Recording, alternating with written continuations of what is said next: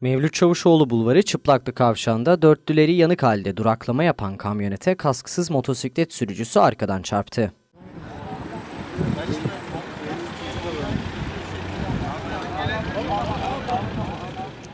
Çarpmanın şiddetiyle yola savrulan motosiklet sürücüsüne diğer araçların çarpmaması için vatandaşlar önlem alıp 112 acil çağrı merkezine ihbarda bulundu. İhbar üzerine olay yerine gelen jandarma trafik akışını kontrol edip yol güvenliğini sağladı. Sağlık ekipleri ise baş ve boyun bölgesinden yaralanan kimliği belirsiz motosiklet sürücüsünü hastaneye kaldırdı.